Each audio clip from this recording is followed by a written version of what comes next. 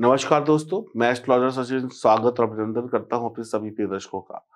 15 जनवरी से 21 जनवरी के मध्य साप्ताहिक राशिफल लेकर मैं आपके समक्ष हूँ। यह जानकारी चंद्र राशि और नाम राशि पर आधारित होगी। आप सभी लोग चैनल को सब्सक्राइब करें, बेल आइकन के बटन को दबाएँ फेसबुक और इंस्टाग्राम पर भी हमें फॉलो करें। आने वाले सात दिन आपके लिए कैसे शुभ होंगे ये हम जान लेते हैं। इन दिनों में क्या अच्छा है, क्या बुरा है, ये हम जान लेते हैं। इन दिनों में क्या उपाय करने हैं, ये भी जान लेते हैं। तो आइए शुभारंभ करते हैं। आपके आने वाले सात दिन का। हम बात करने वाले हैं सिंह राशि की। सप्ताह के आरंभ की अवधि सामाजिक गतिविधियों के लिए शुभ रहेगी। गतिविधियाँ आपके शत्रुओं पर थोड़ी सी भारी पड़ेंगी आपकी। कानूनी विवाद में विजय प्राप्त होगी। इसके अलावा ये अवधि उच्च शिक्षा, व्यापार और नौकरी में या किसी प्रतियोगिता में या किसी कंपटीशन में आपको बेहद अच्छे परिणाम देकर जाएगी। सप्ताह के मध्य में संकेत मिल रहे हैं कि माता पिता से आपका समर्थन बहुत अच्छा रहेगा। सहयोग मिलेगा, आशीर्वाद प्राप्त होगा।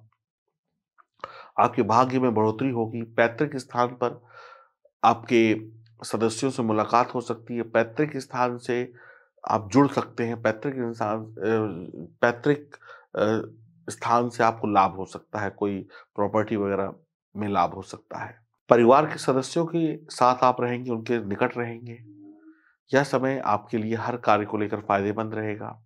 वाहन के रख रखाव पर पैसा खर्च हो सकता है, सोच समझ कर वाहन चलाइएगा। घर में थोड़ा सा पैसा खर्च हो सकता है, घर की मेंटेनेंस को लेकर। सप्ताह के अंतिम भाग में संकेत मिल रहा है कि शिक्षा पर पैसा खर्च होगा, बच्चों के ऐशो आराम पर पैसा खर्च होगा बच्चों की गतिविधियों पर पैसा खर्च होगा और मनोरंजन, प्रेम संबंध और जोखिमपूर्ण कार्यों में आपका पैसा खर्च होता चला जाएगा। सप्ताह का ये जो समय है, पूरे सप्ताह की बात करें तो स्वास्थ्य ठीक रहेगा, आत्मविश्वास नीचे नहीं आएगा। परेशान होंगे, लेकिन फिर भी डटकर मुसीबतों का सामना करेंगे। 16-17 तारीख को समय आपके पक्ष में रहेगा। आप एक कठिन मेहनत कर सकते हैं। आपके फाइनेंस को मज़बूत बनाने के लिए आपको किसी अच्छे सलाहकार की ज़रूरत होगी। झटपट पैसा बनाने के चक्कर में ना पड़े शॉर्टकट से पैसा ना कमाएँ। एक शानदार जीवन शैली जिएँगे, जिसका प्रतीक ये हिस्सा होगा। यानी कि बहुत ही अच्छा सप्ताह आपका बीतेगा। अठारह उन्नीस तारीख को समय ठीक नहीं है, आपका मूड थोड़ा खराब रहेगा सरदर्द रहेगा मूड बार बार स्विंग हो जाएगा। अपने मूड को अच्छा रखिए और आपके मूड से दूसरों को नुकसान ना पहुँचे। आपकी लोकप्रियता पर असर पड़ेगा अगर आप अपना जो काम का हिसाब किताब है किसी और दूसरे के सर पे फोड़ते हैं तो घर में अमन चैन बना के रखें। आप थोड़े से मायूस रहोगे आज। ज़्यादा लालच के चक्कर में आप परेशान हो सकते हो। 20-21 तारीख को समय ठीक रहेगा।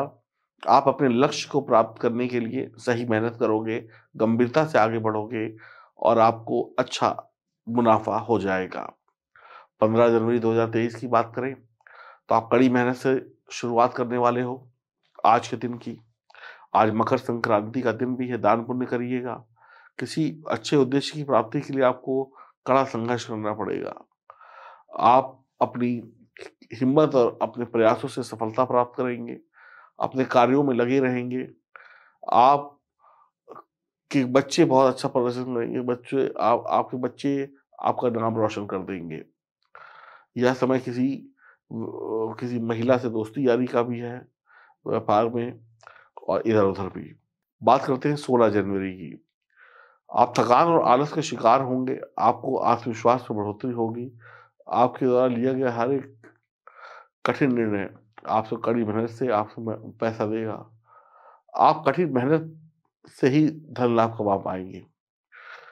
जीवन साथी से रिश्ते मधुर रखिए। संतान की ओर से शुभ समाचार की प्राप्ति होगी आपको और विद्यार्थी आपके उद्देश्य की पूर्ति में सफल रहेंगे। आपके बच्चे बहुत अच्छा करेंगे। परीक्षा कंपटीशन को बहुत आसानी से हल कर देंगे। बात करते हैं सत्रह जनवरी की। आज आप अपने लक्ष्य की प्राप्ति के लिए परिश्रम करेंगे, मेहनत करेंगे और आपका कोई नया मित्र बन सकता है, पड़ोसियों के साथ आपके संबंध सुधर सकते हैं। अनावश्यक भारी भोजन भोजन मत करिएगा तला बुला भोजन मत करिएगा। पुराने मित्र के संपर्क से मुलाकात हो सकती है।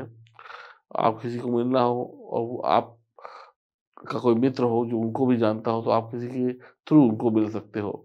आप डायरेक्ट उनका नंबर नहीं जानते, कहाँ रहते, कहाँ नहीं है। तो इस तरीके से आपका कुछ सत्रह जनवरी बीतता हुआ दिखाई पड़ेगा। अठारह जनवरी 2023 की बात करें तो आप अपने तनाव और समस्याओं से मुक्ति पालेंगे। आज का दिन परिवार और मित्रों के साथ अच्छा वक्त बिताने का है। आप किसी सामाजिक कार्यक्रम में भाग ले सकते हैं, कोई नया वाहन इत्यादि प्राप्त कर सकते हैं। आपके संबंध आपकी माता जी से शुभ बने रहेंगे। आपकी जमा पूंजी बढ़ने वाली है। उन्नीस जनवरी की बात करें तो आज आप अपनी माता जी का सहयोग लें और यदि आप संपत्ति खरीदना चाहते हैं, ज़मीन खरीदना चाहते हैं तो भी आज का दिन शुभ है। आज के दिन air condition refrigerator washing machine TV computer आदि भी खरीदना पड़ सकता है आपको। परिवार के साथ शाम को कहीं घूमने फिरने पिकनिक मनाने पिक्चर देखने जा सकते हैं।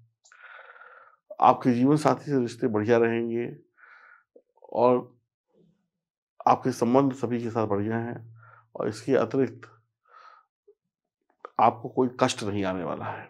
बात करेंगे बीस जनवरी की। आज का दिन विद्या प्राप्ति के लिए अच्छा है। नौकरी करने वाले लोग अपना कार्य पूर्ण आत्मविश्वास के साथ करेंगे। आपका स्वास्थ्य अच्छा रहेगा, मन अच्छा रहेगा। बच्चे मन में अपनी बातें रखेंगे या किसी को बताएँगे नहीं। सामाजिक उत्सव में जा सकते हैं, लोगों से मिलना जुलना हो सकता है। आपकी गाड़ी जो धीमी धीमी चल रही थी, एकदम से तेज चलनी पड़ सकती है। आपको सफलता मिलेगी। पढ़ाई लिखाई में भी 20 जनवरी को सफलता मिलेगी। 21 जनवरी 2023 की बात करें।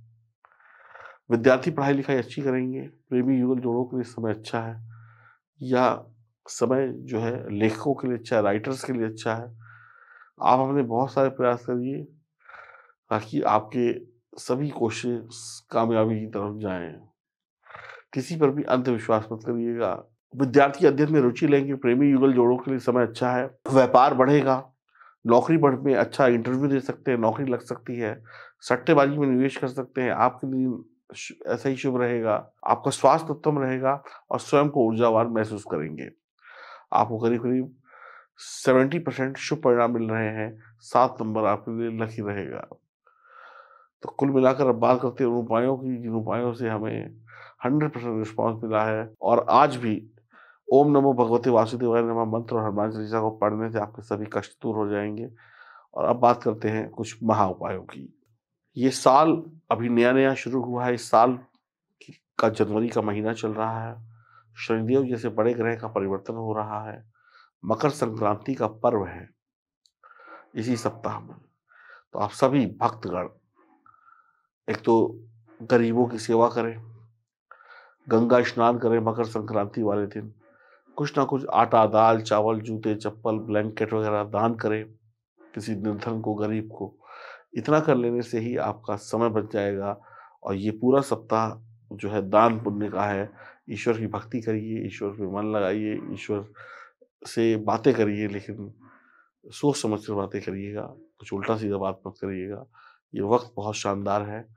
बस ईश्वर को दोस्त बना लीजिए। ईश्वर आपकी सुनने को तैयार है। और मकर संक्रांति वगैरह दिन, वाले दिन दान पुण्य ज़रूर करिएगा। जितना कम से कम हो या जितना ज़्यादा से ज़्यादा हो। खुश रहिए प्रसन्न रहिए मुस्कुराते रहिए। हरिओम नमस्कार।